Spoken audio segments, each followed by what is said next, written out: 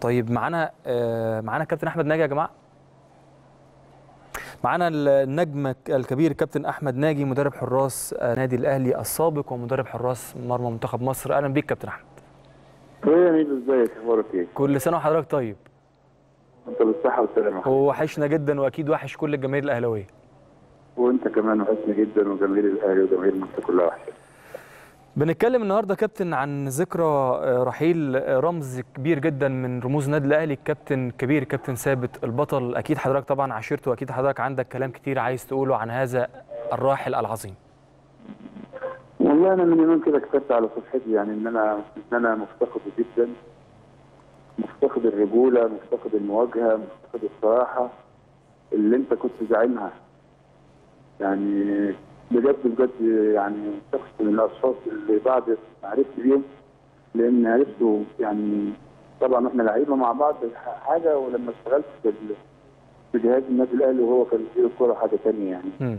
آه، شيء آه، يعني مش موجود أو قل وجوده في هذا الزمن الشخصية المتكاملة الشخصية الصريحة الشخصية ال- اللي, اللي بتواجه بتجيب لك حقك اللي انت تبقى مستريح وانت بتتعامل معاها كل الحاجات دي ثابت البطل رحمه الله عليه مم.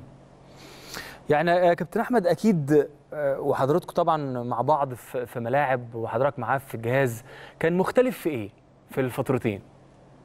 لا بص في صفة يعني من أهم الصفات اللي يعني ما بتلاقيهاش في حد إنه بيواجه يعني بيواجه بيواجه بمنتهى الحدة بمنتهى الكرامة.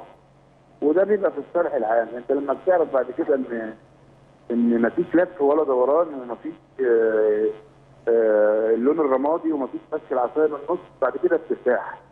حتى لو كان القرار ضدك حتى لو كان ال ال القرار اللي هو خده مش عاجبك بعد كده بتبقى عارف إنه إن هو ده آه القرار اللي هو خده ما يقولكش كلام ويعمل حاجة ثانية مم. فدي ما أعتقد ان هي مش موجودة في نفس الكتب يعني.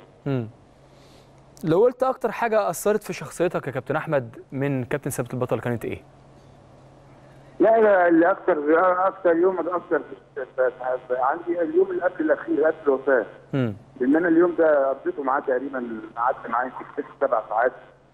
كنا في المعسكر عندنا الزمالك كان يوم ده طبعا الناس كانت عارفة كنت لسه بتكلم عن هذه المباراة وقد إيه كابتن ثابت كان مصر إن هو يحضر هذه المباراة. وهو إحنا قعدنا يمكن آه، آه، وقت طويل جدا واتكلمنا في حاجات كتير جدا حاجات خاصة بيه وحاجات خاصة بيا وحاجات خاصة ببيته وحاجات خاصة ببيتي باولاده وباولادي. آه، ويعني كنت مشفق عليه جدا و- وحابب التمرين من ال- من الأتوبيس مم. وكان في منتهى الاعياء ومنتهى المرض مم.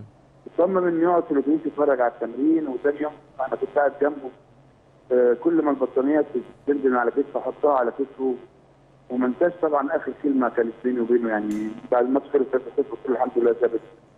إحنا يعني ربنا كرمنا في كده كنت تسال احمد كله محصل بعضه. دي آخر كلمة آخر كلمة سمعتها من ثابت البطل إنه كله محصل بعضه فيعني أنا فسرتها بعد كده على إيه الصراع وعلى إيه ال- التناحر وعلى كله محصل بعضه. يا جماعة والله العظيم كله محصل بعضه. كلنا في الآخر آه، مصيرنا للتراب. حبوا بعض ويعني انسوا الصراعات اللي بتاعت الدنيا الزايده ديت اللي أنا شايف آه، يعني درجة آه، حرارتها زايدة قوي اليومين دول والناس آه، يعني معدل الحب بين الناس يعني قل قوي وعلى إيه؟ ثابت البطل آخر كلمة قالها لي قبل ما يقول كله محصل بعض أكيد يا كابتن كانت كلمة فعلا زي ما حضرتك آه، بتقول فعلا مفيش حاجة مستاهلة خالص يا كابتن أحمد. لكن عايز أسأل حضرتك سؤال شخصي يا كابتن أحمد. اتفضل. يعني يعني الفترة اللي قضيتها في النادي الأهلي أعتقد إن أنت قضيت فترة كبيرة جدا في النادي الأهلي من عمرك كله يا كابتن أحمد. حضرتك تصادف مرة إن النادي الأهلي آه، كان صدر مشاكل أو كان سبب في أزمة؟ لا أنا مع سؤال سؤال للتاريخ يعني من من واحد آه، عاصر النادي الأهلي في في في فترات طويلة جدا وكبيرة جدا. لا النادي الأهلي طول عمره رائد طول عمره قائد طول عمره مثل طول عمره هو اللي بي بيعمل التوازن يعني التوازن اللي, اللي المفروض يحصل في ال- في في, في وسطنا ومثل ويعني دايما النادي الأهلي هو الكبير ويعني أنا عايز أقول إن ما يحدث الآن في في الساحة إن شاء الله بإذن الله يعني النادي الأهلي يكون عنده الحكمة وعنده السياسة إن آه، يعني كابتن محمود ياخد القرار المناسب لمصلحة النادي الأهلي ومصلحه الكرة المصرية إن شاء الله وتعدي المسألة ديت.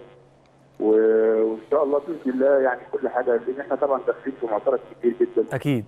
كاس الأمم الأفريقية اللي. إحنا بن- بن- هتتصدر من خلالها للعالم مصر مصر الآمنة مصر المطمئنة مصر الحضارة مصر ال- الانتماء مصر إن شاء الله بإذن الله تبقى يعني فتحه خير على مصر إن شاء الله. يا رب أنا بشكرك شكرا جزيلا كابتن أحمد ناجي نجم كبير في النادي الأهلي ونجم مصر أيضا. إن شاء الله تفضل نجم طول حياتك كابتن أحمد شكرا جدا آه، على هذه المداخلة.